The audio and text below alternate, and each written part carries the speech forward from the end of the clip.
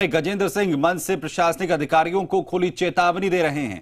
वो साफ़ कहते नज़र आते हैं कि पाँच साल में राज बदल जाता है और उनके पास एक एक अधिकारी की जनपत्री रखी है। गजेंद्र सिंह इस वीडियो में अधिकारियों को उल्टा लटकाने की धमकी दे रहे हैं। बताया जा रहा है कि पोखरण में चुनाव कार्यालय के उद्घाटन के बाद सभा को संबोधित करते हुए गजेंद्र सिंह शेखावत ने यह बयान दिया। इसे लेकर प्रशासनिक अमले में अब दबी जमान में नाराज़गी ज़ाहिर हो रही है।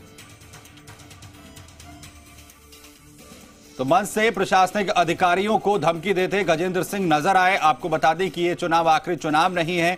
ये गजेंद्र ने मंच से कहा, पाँच साल में राज बदल जाता है और एक एक अधिकारी की जो कुंडली है वो उनके पास है। और साथ ही साथ उन्होंने कहा कि तमाम प्रशासनिक अधिकारियों को वो उल्टा लटका देंगे। बीजेपी प्रत्याशी है गजेंद्र सिंह शेखावत और मंच से एक सभा को संबोधित कर रहे थे, जहाँ पर अपने चुनाव कार्यालय का उन्होंने उद्घाटन किया। तो इस दौरान उनके ये बोल सामने आए।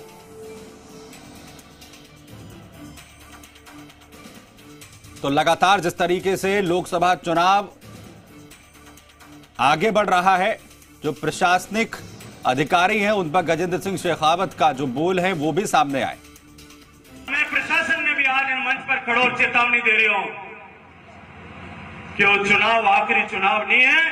पाँच साल में राज बदल जाए, मैं एक एक जन्म पत्री मारी, आँखें में राखेड़ी है। उल्टा नहीं लटका दो तो नाम सिंह उल्टा नहीं लटका दो तो मारो नाम गजेंद्र सिंह नहीं है एक जन्म पत्री है सीएस दबे जी मीडिया संवाददाता खबर पर जानकारी के साथ जुड़ रहे हैं। दबे आखिर क्या जो कहना चाह रहे थे गजेंद्र साहब और किस मौके पर? जी सुमित मैं आपको ये बता देना चाहता हूँ कि कल पोखरण के अंदर चुनावी सभा का आयोजन किया गया था और कार्यालय उद्घाटन के समय मंत्री गजेंद्र सिंह जी यहाँ पहुँचे थे।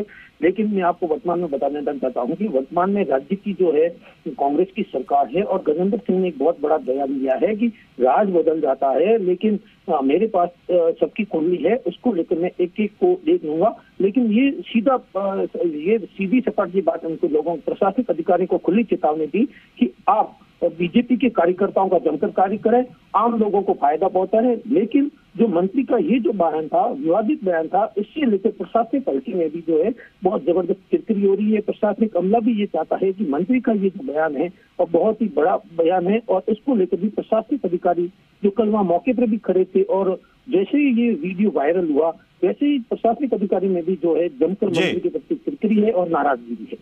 चलिए, बहुत शुक्रिया सीएस दबे जी मीडिया संवाददाता यहाँ पर जानकारी देते हुए किस तरीके से गजेंद्र सिंह का विवादित बोल जो है वो सामने आए हैं, जहाँ पर प्रशासनिक अधिकारियों को उल्टा लटकाने की धमकी देते हुए मंच से यहाँ पर गजेंद्र सिंह नज़र आए।